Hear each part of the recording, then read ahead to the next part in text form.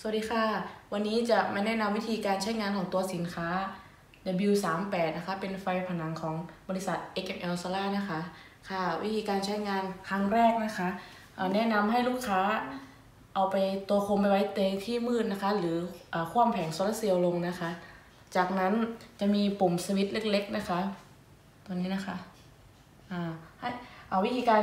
ตัวนี้จะมีโหมดทั้งหมด 3 โหมดการทำงานนะคะ โหมดแรกนะคะให้กด ปุ่มค้างไว้นะคะ จนไฟติดนะคะโหมดแรกนะคะ จะเป็นไฟโมชั่นจะทำงานเมื่อมีคนเดินผ่าน